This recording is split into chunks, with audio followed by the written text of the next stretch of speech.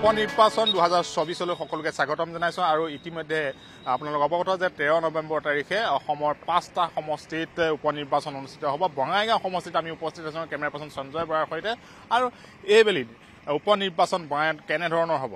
সেই খবৰসমূহ ইতিমধ্যে নিউজ এইটিনৰ দৰ্শকে ইতিমধ্যে দেখি আহিছে প্ৰতিটো খবৰ প্ৰতিটো মুহূৰ্তৰ খবৰ। আৰু তিনিকোণীয়া হ'বনে দুকোণীয়া হ'বনে এই পৰিৱেশ পৰিস্থিতিৰ সন্দৰ্ভত আমি আপোনালোকক জনাম। কিন্তু এটা কথা ঠিক যে অসম গণ পৰিষদৰ তৰফৰ পৰা ফণীভূষণ চৌধুৰীৰ পত্নী দীপ্তিময় চৌধুৰীকে প্ৰক্ষেপ কৰা হৈছে। কংগ্ৰেছৰ তৰফৰ পৰা প্ৰক্ষেপ কৰা হৈছে অৱসৰপ্ৰাপ্ত আই পি এছ বজেনজিৎ সিনহাক। আৰু অসম গণ পৰিষদৰ পৰা টিকট আহ, ক্ষোভ প্ৰকাশ কৰি দল ত্যাগ কৰি বৰ্তমান নিৰ্দলীয় হিচাপে তেওঁ মনোনয়ন পত্ৰ দাখিল কৰিছে। শৈলেন চৰকাৰে এই তিনিগৰাকীৰ মাজত নিৰ্বাচন হোৱাৰ পূৰ্ণ সম্ভাৱনা আছে। কিন্তু এই গোটেই বঙাইগাঁৱৰ পৰিৱেশ সন্দৰ্ভত আক্ৰাচুৰ সভাপতি আছে। তেওঁৰ পৰা জানিম এইবাৰ উপ নিৰ্বাচন কেনেকুৱা হ'ব বুলি ধাৰণা কৰা হৈছে।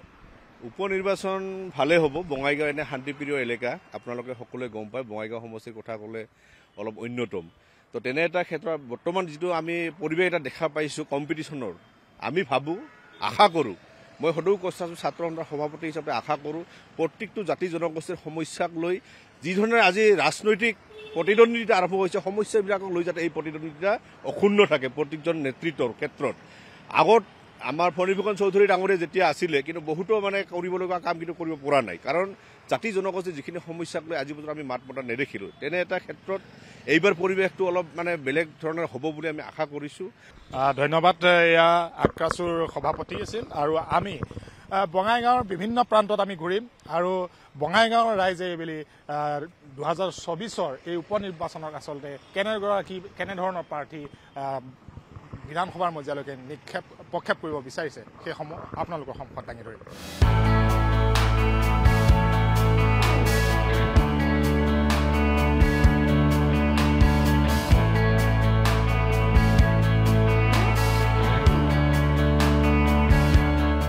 বঙাইগাঁৱৰ নিৰ্বাচনী পৰিৱেশ কেনেধৰণৰ সেই সন্দৰ্ভত আপোনালোকৰ সন্মুখত দাঙি ধৰি আছো? এগৰাকী যুৱক আছে তেওঁ কাম কৰি আছে। এই মুহূৰ্তত বঙাইগাঁৱৰ পৰিৱেশ পৰিস্থিতি কেনেকুৱা? মানে নিৰ্বাচনটো আহি আছে। গম পাইছে নাই? গম পাইছো গম পাইছো। খোৱা পানী চোৱা পানী ৰাস্তা চাস্তা অৱস্থা কেনেকুৱা? ইয়াত? ৰাস্তাটো হৈ আছে ভালে ৰাস্তা হৈ আছে বৰ্তমান। আৰু কি সমস্যা? পানী খোৱা পানী? খোৱা পানীটো ঠিকে আছে। মেডিকেল?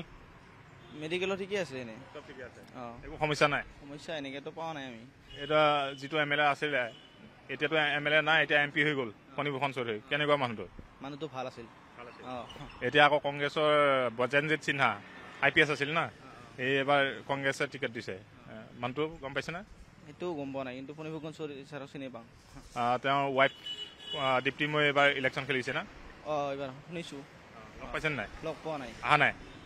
মানে অহাই নাই মই মিটিঙত ভোট দিবে না তেইছ তেৰ তাৰিখে? ভোট দিম। এয়া হ'ল এগৰাকী যুৱক তেওঁ চৰম কৰি পৰিয়াল জীৱন নিৰ্বাহ কৰি আছে আন এগৰাকী ককাই আছে। তেৰ তাৰিখে ইলেকশ্যন আছে উপ নিৰ্বাচন এতিয়া সমস্যা কি কিবা আছে না ইয়াতে? নাই আমাৰ সমস্যা। কোনো সমস্যা নাই? নাই ঘৰত কোন কোন আছে?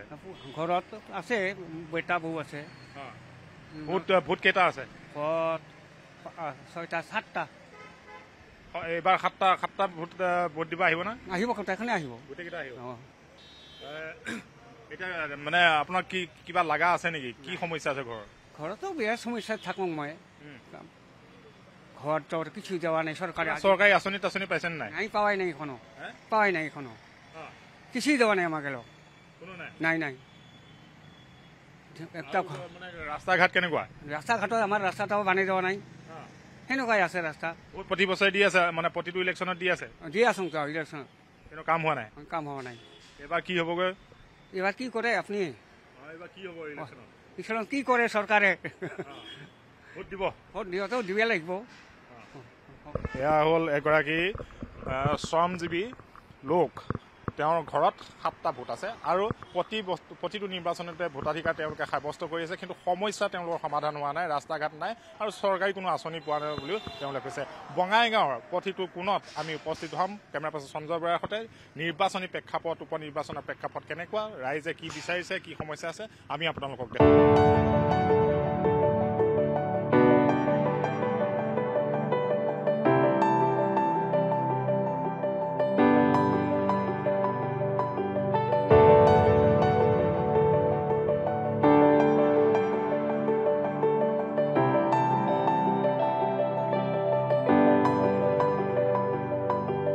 বঙাইগাঁৱৰ উপ নিৰ্বাচনৰ প্ৰতিটো খবৰ প্ৰতিটো ইয়াৰ পথ পৰিৱৰ্তন কেনেধৰণে হৈ আছে সেই খবৰসমূহ আপোনালোকৰ সন্মুখত কেমেৰা পাৰ্চন সঞ্জয় বৰা আৰু মই দিবৰ কাৰণে চেষ্টা কৰিছোঁ। বঙাইগাঁৱৰ এখন গাঁৱৰ ভিতৰত থকা এখন চাহৰ হোটেল মিঠাই হোটেল। ইয়াত আমি উপস্থিত আছোঁ। আৰু বহুকেইগৰাকী ইয়াত বয়োজ্যেষ্ঠ লোক আছে তেওঁলোকৰ পৰা। আচলতে বঙাইগাঁৱৰ সমস্যা কি? বঙাইগাঁৱৰ ৰাজনীতি বুলি উপ নিৰ্বাচনত কোনফালে গতি কৰিব সেই সন্দৰ্ভত আমি জানিব চেষ্টা কৰিম। দাদা আপোনাৰ ঘৰ ক'ত? মোৰ গাঁৱৰ এতিয়া জন্ম কিন্তু চিটকা গাঁৱত আছো। এইবাৰ ভোটটো আহি গ'ল নে? তেৰ নৱেম্বৰত ভোট? ভোট দিব আহিব নাই? ভোটটো দিব যাব লাগিবই। যোৱাবাৰ দিছে ভোট? অঁ দিছোঁ। আপোনাৰ ঘৰত ভোট কেইটা আছে? ভোট হেৰি দুটা আছে। দুটা আছে। দুটা। এটা সমস্যা কি কি আছে আপোনালোকৰ? সমস্যা আছে মানে তোৰ মানে মাটি যেতিয়া আছে হেৰি মাটি কয় খাজ মাটি তাতে বহি আছোঁ। তে আজি বত্ৰিছ বছৰ না হেৰি ত্ৰিছ বছৰ হৈ লওঁ। তাতে মানে বাৰী বাগান তুলিছোঁ কিন্তু হেৰি খাজানা দি আছোঁ। খাজানা মাটি পট্টা নাই? পাত্তা নাই। মানে শিল ব্লকত পৰিছে আৰু কি পোন্ধৰ বছৰ খাজানা দিলোঁ আৰু এনেকা। এতিয়ালৈকে হোৱা নাই আৰু। এতিয়া এইটো আপোনালোকেতো আঠবাৰ এজি ইয়াত এই সমষ্টিৰ পৰা আঠবাৰ এ জি পিয়ে ইয়াৰ পৰা দিছপুৰলৈ গৈছিল। সমস্যা সমাধান হৈছে নে? এইবাৰ কাক ভোট দিব? মানে কংগ্ৰেছৰ ফালৰ পৰাও এগৰাকী প্ৰাৰ্থী দিছে। বজেনজিৎ সিনহা আগত পুলিচ অফিচাৰ আছিলে। এইখন এলা কাক দিওঁ এতিয়াতো মানে কি হোৱা নাই? দিবাতো লাগিব। মানে তেৰ তাৰিখে ওলাই আহিব ভোট দিব ঘৰ ক'ত আপোনাৰ? এই ঘৰ এতেই ইয়াতে? অঁ। কি কি সমস্যা আছে? আপোনাৰ ঘৰত কি কি সমস্যা আছে আৰু মানে আপোনাৰ অঞ্চলটোৰ কি কি সমস্যা আছে? অঞ্চলটোতো হৈয়ে আছে যেনিবা। মোৰ সমস্যা নাই কিছু। সমস্যা কি আছে? বৰ্তমানে মোৰ বেলাত হৈছে কি সমস্যা আছে? মোৰ পঁচাশী বছৰ বয়স। এতিয়া মোৰ কি সমস্যা আছে? সমস্যাই নাই। মোৰ বেলাগাই দিয়া সমস্যা। এই নহয় নহয় স- মানে আপোনাৰ অঞ্চলটো গাঁওখনৰ কেনেধৰণৰ সমস্যা সমা- সমস্যাবিলাক সমাধান হৈছে নে নাই? ভোটটো দিয়ে আছে প্ৰতি প্ৰতিটো নিৰ্বাচনত। দিয়াচোন। সমাধান হৈছে প্ৰায় কিছু। আৰু কিছু হোৱা নাই আছে। এখন এলা সিতা মই আৰু কি ক'ম তে? এতিয়া তেৰ নৱেম্বৰত আহ, নিৰ্বাচন ইলেকশ্যন। ভোট দিব আহিব নাই? ভোটটো দিবই লাগিব। অঁ ভোট নিদিলে কি গাব ভোট আজি ইমান দি আছোঁ ভোট। যখনে কিবা কয় ব্ৰিটিছ আমলে হেৰি স্বাধীন মহাত্মা গান্ধী স্বাধীন আনিল স্বাধীনে পৰা আমি ভোট দি আছোঁ দুই বছৰ তিনি বছৰ পাছত তাৰ পৰা বাৱন্ন চনৰ পৰা বাৱন্ন চনৰ পৰা ভোট দি আছে অঁ বাৱন্ন চনৰ পৰা এইগৰাকী ব্যক্তিয়ে ভোটাধিকাৰ সাব্যস্ত কৰিছে আন এগৰাকী ওচৰলৈ যাব বিচাৰিছোঁ যে আপোনাৰ ঘৰ ক'ত মোৰ এই আপোনাৰ বৰপাৰা কয় মোৰ আপোনালোকৰ এতিয়া গম পাইছে নে তেৰ নৱেম্বৰত উপ নিৰ্বাচন আছে ইলেকশ্যন আছে ভোট তেৰ নৱেম্বৰত ভোট আছে। আপোনাৰ এইবাৰ ভোট দিব ওলাই আহিব নাই? এইটো কি সেইটো মই বুজি নাপালোঁ। ইলেকশ্যন আছে তেৰ নৱেম্বৰত। অঁ এতিয়া মোৰ আহাটো সেনেকাই হ'ব। কাণ ভাৰী মানুহ। কাণটা ভাৰী। তাৰপিছত আৰু নহ'ব আৰু। আপোনাৰ ঘৰ ক'ত? কাঠলগুৰি। কাঠলগুৰি ওচৰতে? ওচৰতে আপোনাৰ ঘৰত কিমানটা ভোট আছে? ভোট? ভোটটো আছে তিনিটা চাৰিটা। তিনিটা মিনা আছে। লাষ্ট ইলেকশ্যন বিলাকত আগৰ ইলেকশ্যন বিলাকত ভোট দি আছে। এইবাৰ দিবলৈ আহিব? দিবাতো যা- লাগিব ভোট। ভোট নিদিলে আৰু সমস্যা কি কি আছে? আপোনাৰ সমস্যা কি? গাঁৱৰ সমস্যা কি? সমস্যা ঘৰ নাই। ঘৰ পোৱা নাই। মানে ভূমিহীনৰ দিছিল এক্স- এই- এইবিলাক কথা আপোনালোকৰ এম এল এক কৈছিল নে নাই আগতে? তাইতো দিছে কাগজ কিন্তু মাটি ক'ত দিয়ে লাও ঠিক হোৱা নাই দিয়াই নাই। মাটি আপোনাৰ নাই? নাই খানে এনে ল- অলপ আছিল খানে গোটেই বান্ধি আছে কাগজ দিছিল আন এগৰাকী আছে তেওঁৰ পৰা জানিব ট্ৰাই কৰিম। আপোনাৰ ঘৰ ক'ত? দুই নং জাৰাগুৰি। এইবাৰ তেৰ নৱেম্বৰত ইলেকশ্যন আহি আছে। গম পাইছে? আপোনাৰ ভোট কেইটা আছে আপোনাৰ ঘৰত? ভোট আছে পাঁচটা। পাঁচটা। ভোট দিব আহিব নাই এইবাৰ? ভোটটো দিবই লাগিব। মানে সমস্যা কি কি আছে আপোনালোকৰ গাঁওখনত? গাঁৱতো ৰাস্তা ঘাট হেংকাই ৰাস্তা ঘাট হোৱাই নাই। এতিয়াই আমাৰ সমস্যা বেছি। এইবিলাক সমস্যা আগতে আগৰ এম এল এ বিলাকক কৈছিল নে নাই? এইগিলা এম এল এক কৈছোঁ। কিন্তু কায়তো গায়ে নলৰে। কি ক'ম আৰু? এইবাৰ তথাপি ভোট দিব আহিব। ভোটটো দিবই লাগিব। ভোটটাতো আৰু সেই দিবই লাগিব। কিবা হ'লেও দিব লাগিব নহ'লেও এতিয়া এইবাৰ কোন কোনে কোনে ইলেকশ্যন খেলিছে উপনিষদ গম পাইছে নাই? বৰ্তমানতো সেইটো ইমান এলাও ক'ব পৰা নাই। কোনে কোনে খেলিছে গম পোৱা নাই? আমাৰতো আৰু এখন বাহিৰত কাম কৰিব ৰাতি হ'লে ঘৰত যাওঁ সোধা যাব মোটামুটি ধৰক আপোনাৰ জেলা আহি যাব বস্তুটা সময়ত। কাই কাই ক'ত দাঁড়ায় কি সমাচাৰ? এতিয়া বুজা যাব। এয়া হ'ল সাধাৰণ ভোটাৰ আৰু আৰু এগৰাকী বয়োজ্যেষ্ঠ লোক আছে তেওঁৰ পৰা জানিম। আহ, আপোনাৰ ঘৰ ক'ত শিপনশিলা শিপনশিলা এতিয়া তেৰ নৱেম্বৰত ইলেকশ্যন আছে গম পাইছে নে নাই? বাং। ঘৰত কোন কোন আছে? ভোট ভোট কেইটা আছে আপোনাৰ? চাৰিটা আছে। মানে সমস্যা কেনেধৰণৰ? আপোনাৰ ঘৰৰ বা আপোনাৰ গাঁওখনৰ? এ, কোনকো লাগে? ঘৰৰ সমস্যা লাগে না ঘৰৰ সমস্যাটো আৰু কাৰ পৰা দূৰীকৰণ কৰিবা। যিকোনো হেৰি চৰকাৰে ঘৰৰ সমস্যা দূৰ কৰিব নাপাৰে আমাৰ লাগে এই দেখেৰা আনি। ৰাস্তা খাটা এই- এইগিলা বেছিভাগ হেৰি হৈছেগে অলপ আছে। এইবিলাক কোন চৰকাৰ আহে না? কাই আহে। হ'ব আৰু এনেকুৱা যদি আৰু অঁ। মইতো হ'বাকে আশা কৰোঁ। এতিয়া এতিয়া হেৰি চৰকাৰৰ এতিয়া হেৰি কৰ্তব্য মইতো কাৰোবাক কিছুমান ভোট দিবাই লাগিব না নালাগে আজি আপোনাক নকওঁ কাক দিম বুলি অঁ। মই মানে দিব আহিব ব্যক্তিগত সমস্যা কোনো চৰকাৰে দূৰীকৰণ কৰিব নাপাৰে একদম হেৰি হ'লে হেৰি ধৰি লওক চাৰি ভাগেৰ তিনি ভাগ হৈছেগৈ আমাৰ ইয়াতে অলপ আছে এইটোও হ'ব যদি ভাল পাৰ্টি হয় যদি হেৰি আমাক চায় তাহলে হ'ব আৰু এগৰাকী আইতা আছে মোৰ কাষত। আপোনাৰ ঘৰ ক'ত? অ ইয়াৰ পৰা কিমান দূৰ? হাইস্কুল। ওচৰতে? অঁ। বেছি দূৰ নহয়। ওলাই আহিছে এতিয়া। অঁ। তেৰ তাৰিখে ইলেকশ্যন আছে গম পাইছে নাই? এই তেৰ নৱেম্বৰত। নাপাংজো ভোট দিব লাগিব। অ' দিবাতো লাগব কে অ। ওলাই আহিব নাই ভোট দিবৰ কাৰণে? ভোট দিব নে নিদিয়ে?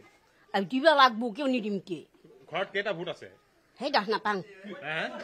আপোনাৰ ঘৰত আৰু কোনে কোনে ভোট দিব? কেইটা মানুহ আছে? ভোট দিয়া মানুহ? আমি চাৰিটা পৰিয়াল। চাৰিজনে দিওঁ। বুঢ়া বুঢ়ী বেটা বৌ। আৰু সিফালে আছে দুইটা বেটা। কি কি আছে? আপোনালোকৰ গাঁওখনত ঘৰখনত সমস্যা কি কি আছে?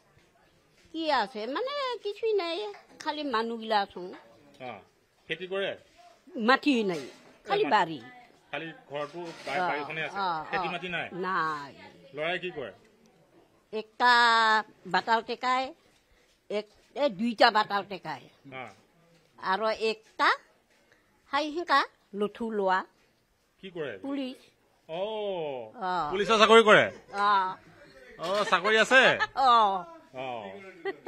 দুটাই মিস্ত্ৰী কৰে অ পুলিচৰ চাকৰি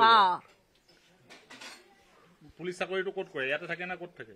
সেই য'তে পাওঁতে যায় ডিউটি বেলেগত বাহিৰত আৰু আমাক আৰু এই উঠাই ৰাস্তাটো ৰাস্তা ঘাট কেনেকুৱা আমাৰতো ৰাস্তা আকৌ বিয়া না এই এইগিলা দাস পায় সেইগিলা দাস পায় আমাৰ মানে খোলা কথা খোলা মানুহ খোলা কথা দিব ক'ব লগা আমি ঠিকেই কৰোঁ এতিয়া তেৰ তাৰিখে ভোট দিব আহিব কোন ঠাই বা দিব লাগে ভোট চেণ্টাৰত অ আহিবাতো আৰু লাগব কে অ। চব আহিব বুলি কৈ দিবি ৰাইজক। আহ হ'ব। এয়া হ'ল এগৰাকী আইতা ভোট দিব আহিবই আৰু সকলোকে ভোটাধিকাৰ সাব্যস্ত কৰাৰ বাবে আইতাগৰাকীয়ে কৈছে আন এগৰাকী ককা আছে তেওঁৰ পৰা জানিম। আপোনাৰ ঘৰ ক'ত? এই চিপনচিলা ওচৰতে? অঁ এই চিপনচিলা বৰপাৰা কথা কয়। এই প্ৰথম খণ্ড। অ বজাৰ কৰিব আহিছে নেকি? নাই মই এনেই আহিছোঁ। চাহ খাব? অঁ চাহ খাব। এতিয়া তেৰ নৱেম্বৰত ইলেকশ্যন আছে ভোট দিব লাগিব গম পাইছে না? কি ইলে- ইলেকশ্যন কিহৰ? এ, এইটো নিৰ্বাচন হ'ব না ইলেকশ্যন আছে, নিৰ্বাচন ইলেকশ্যন- বিধান বিধানসভাৰ বিধানসভাৰ। অঁ। আগতে ভোট দিছেতো। দিছোঁ। এইবাৰ আছে তেৰ তাৰিখে। হে? এই তেৰ নৱেম্বৰত ভোট আছে। অঁ। ভোট দিবনে নিদিয়ে? দিম দিম কিয় ভোট নিদিম? আপোনাৰ ঘৰত কেইটা ভোট আছে? ঘৰত এনেতো ভালে কৈছে পাছত অলপ বেলেগ বেলেগ হৈ গৈছেতো। আমি ঘৰৰ নম্বৰো বেলেগ বনাইছে নেকি? এনে দুজন মোৰ সমস্যা কি আছে? আপোনাৰ ঘৰৰ সমস্যা কি আছে আৰু গাঁৱৰ সমস্যা কি আছে? এই সমস্যাটো মোৰ নিজৰ কোবাই নচলে সেনেকা। কেনেকুৱা? এই কেনেকুৱা বোলতে এতিয়া ধৰ এইগিলা যে কেনেকে ক'ব টান? সেনেকা এটা কিবা দুৰ্বৃত্তই লাগ ধৰা নিচিনা। তাৰপিছত এতিয়া ক'লেও বহুত ক'ব লাগে ভালকে কৈ দেচোন কি কি আছে সমস্যা? হে? সমস্যা? সমস্যা বোলতে এই কিবা বস্তু বাহানিবিলাক কাটিয়ে দিয়ে যে। ৰুইলে। তাৰপিছত মই বস্তু বেচাব নাপাওঁ। ইফালে মইতো কাম বহন ঠিকেই কৰোঁ আৰু মোৰ কাম মানে আগেতো পৰিপাতি ব- বঢ়িয়া পৰিপাতি আছিল ভাল। এতিয়া আৰু কোনো কাম বন নাখাতে। আৰু বুঢ়াও হৈ লওঁ এলা। এলাতো সত্তৰ বছৰমান বয়স হ'ল। ভোট দিব ওলাই আহিব চব? ভোট দিবাতো আহিম। ভোট দিব আহিম। অঁ। এয়া হ'ল এগৰাকী ককা। শত্ৰুদ্ধ ককা ভোট তেওঁ নিজেও দিব আৰু ৰাইজকো ভোট দিবৰ কাৰণে আহ্বান কৰিছে আৰু এগৰাকী আমাৰ এয়া দাদা আছে। কেনেকুৱা পৰিৱেশ পৰিস্থিতি আৰু সমস্যাবিলাক কেনেধৰণৰ? তেৰ তাৰিখে ভোট দিবৰ কাৰণেতো চব ওলাই আহিব লাগিব। এক লাখ আশী বিৰাশী হাজাৰতকৈ বেছি ভোট আছে আপোনালোকৰ বঙাইগাঁৱত এতিয়া কথাটো হ'ল পৰিৱেশটো কেনেকুৱা এইবাৰ? পৰিৱেশটো এনে অলপ খেলি মেলি লাগিছে যেনিবা। খেলি মেলি কিহৰ কাৰণে লাগিছে? কিবা বোলে কিবা উপ নিৰ্বাচনৰ কাৰণে উপ নিৰ্বাচন হ'ব তেৰ তাৰিখে না? তেৰ তেৰ নৱেম্বৰ অঁ কিন্তু আমাৰ এই কেণ্ডিডেটজনৰ অলপমান খেলি মেলি হৈছে। হা AGP? এ জি পিৰ কিন্তু লাষ্টততো আৰু ফণী ভূষণ চৌধুৰীৰ হেৰি কি পত্নী দীপ্তিমণি চৌধুৰীয়ে তেমন আমাৰ বিধান হেৰি কি কয় কেণ্ডিডেট হৈ গ'ল। কিন্তু ইয়াতে ইয়াৰ মাজতে আৰু চলিন চৰকাৰ অলপমান হেৰি কৰি আছে আৰু। চলিন চৰকাৰতো আৰু নিৰ্দলীয় প্ৰাৰ্থী হিচাপে হেৰি হৈছে মনোনয়ন দাখিল কৰিছে। এতিয়া আমিতো আৰু ইমান বছৰ হ'ল আমিতো আৰু ফণী চৌধুৰীকে ভোট দি আহিছোঁ এ জি পিতে ভোট দি আহিছোঁ। তথাপিও আমাৰো সমস্যা আছে বহুত সমস্যা ক'ব লাগিলে। কিন্তু সেই সমস্যাবিলাকতো আৰু গোটেইবিলাকতো আৰু পূৰণ কৰিব নোৱাৰিব।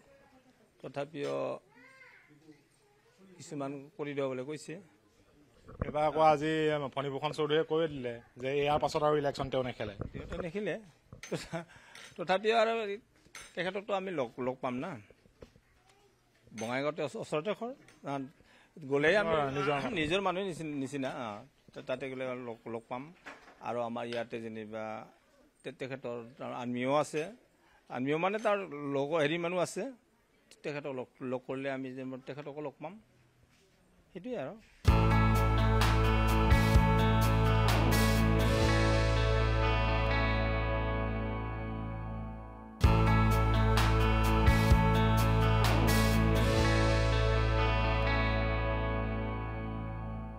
এয়া হ'ল এখন বজাৰ আৰু এই বজাৰত আহ, বহু সংখ্যক লোকো ইয়াত ইয়াত উপস্থিত হৈছে বজাৰ কৰাৰ বাবে।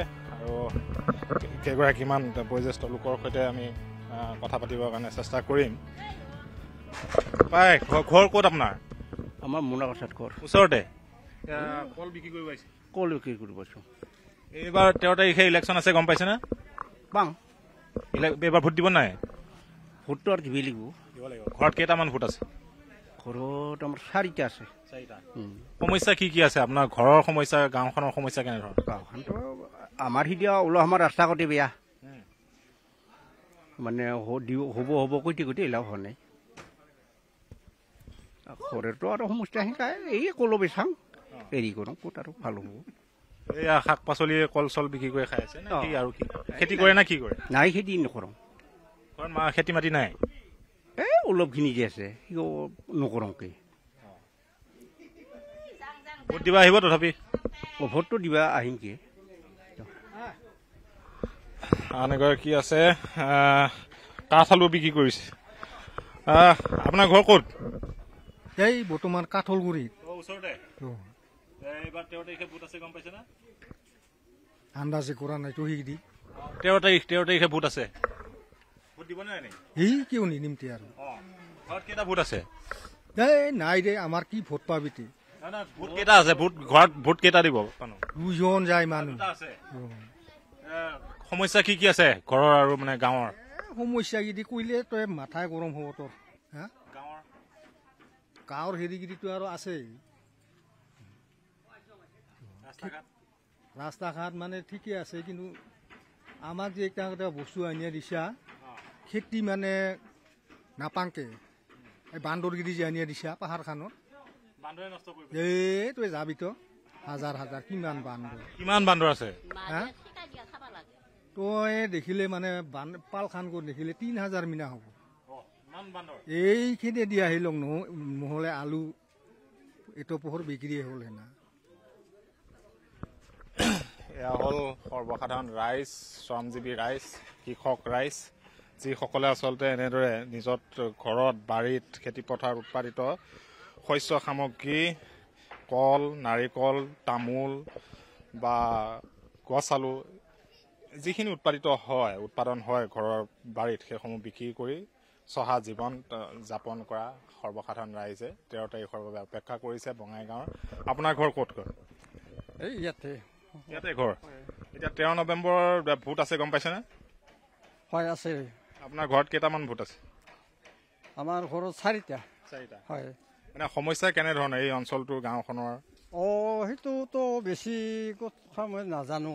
আপোনাৰ আপোনাৰ ঘৰৰ কি সমস্যা আছে? আমাৰ ঘৰৰো সমস্যা এটা নাজানো। মানে নিজেই নিজৰ সেইটোৱে হয়। অঁ সেইটোকে সেইখিনিয়ে জানো আৰু। এই মানে দোকানত থাকোঁতো দোকানদাৰী কৰি। আপোনাৰ দোকান আছে এখন আপোনাৰ দোকান? অঁ হয় মোৰ দোকান। কেইটা ভোট আছে? চাৰিটা ভোট আছে আপোনালোকৰ? হয় চাৰিটা ভোট দিব আহিব চবে? চবেই আহিব আৰু দি আছোঁ আগৰ পৰাই। আপোনালোকে যেনেকে চাৰিটা মানুহে চাৰিটা ভোট আছে চাৰিটাই ভোট দিব এবাৰ ৰাইজক আহ্বান কৰকচোন যে সকলো ওলাই আহক ভোট। অঁ সেইটো হ'ব সেইটো এই অহা নাই নহয় হেৰিবিলাক। চবকে কৈ দিয়ক এবাৰ ভোট চবে দিব দিব।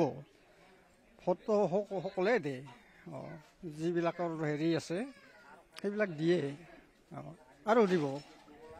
এয়া হ'ল সৰ্বসাধাৰণ ৰাইজ আৰু দোকানী দোকান দি জীৱন নিৰ্বাহ কৰিছে।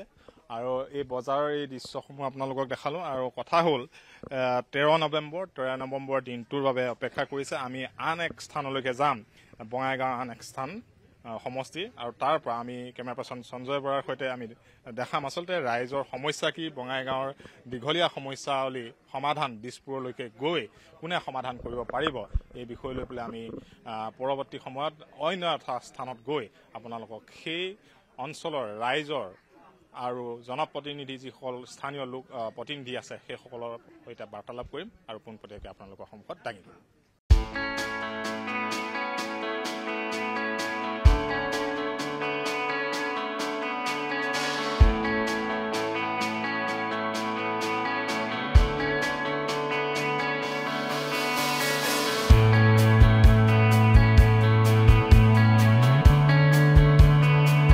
বঙাইগাঁৱৰ উপ নিৰ্বাচনৰ প্ৰতিটো খবৰ আমি জনাবৰ কাৰণে চেষ্টা কৰিছোঁ কেমেৰা পাৰ্চন সঞ্জয় বৰা আছে আৰু এই মুহূৰ্তত বঙাইগাঁৱৰ পৰা এইবুলি নিৰ্দলীয় হিচাপে প্ৰতিদ্বন্দ্বিতা কৰা বৰ্মন ডাঙৰীয়া আছে। কেনেকুৱা পৰিৱেশ দেখিছে এইবুলি? পৰিৱেশ আচলতে মোৰ যিখিনি আমি ঘূৰি আছোঁ ৰাইজৰ যথেষ্ট সঁহাৰি। ৰাইজে এইবাৰ মানে নতুন মানুহ এজন বিচাৰিছে। আৰু এটা কথা স্পষ্ট হৈ পৰিছে যে ৰাইজে এইবাৰ কোনো দলক নিদিয়ে। দলক নিদিয়ে এইটো নিৰ্দলীয়ই যাব। এইটো খাটাং। কাৰণ দলৰ প্ৰতি বিশ্বাস নোহোৱা হৈ গৈছে। দুটা কাৰণত। এটা হৈছে এটা দল অসম গণ পৰিষদ তেওঁলোক হৈছে পৰিয়াল কেন্দ্ৰিকত ওপৰত যিটো মানে আৰম্ভ কৰিছে সেইটো ৰাইজে খুবেই বেয়া পাইছে আৰু এইবাৰ তেওঁলোকে উচিত মানে প্ৰত্যুত্তৰ পাব। আৰু দ্বিতীয়জন হৈছে কংগ্ৰেছৰ কংগ্ৰেছৰ ব্ৰজেনজিৎ সিংহ ডাঙৰীয়া। তেখেত সুদীৰ্ঘ বছৰ বাহিৰত থাকিলে। এতিয়া ইলেকশ্যনৰ সময়ত তেওঁ এটা মানে নিজকে কেণ্ডিডেট হিচাপে অথচ তৃণমূল কৰ্মী হিচাপে যিসকল ব্যক্তি আছিলে তেওঁলোকে সুযোগ নাপালে। গতিকে এইটো ক্ষেত্ৰত বহুতেই বেয়া পাইছে ৰাইজেও বেয়া পাইছে সেইটো কথা মানে স্পষ্ট হৈ পৰিছে। গতিকে দলবিলাকৰ যি মানে ছিষ্টেম সেই ছিষ্টেমত ৰাইজ ৰাইজ সুখী নহয়। বঙাইগাঁৱৰ এনেধৰণৰ যিখিনি ৰাইজে বিচাৰিছে আচলতে কি কি ইছ্যু হ'ব আৰু কেনেধৰণে আগবাঢ়িব বঙাইগাঁৱৰ ৰাজনীতি এই সন্দৰ্ভত আমি প্ৰতি মুহূৰ্তৰ খবৰ আপোনালোকৰ সন্মুখত দাঙি ধৰিম।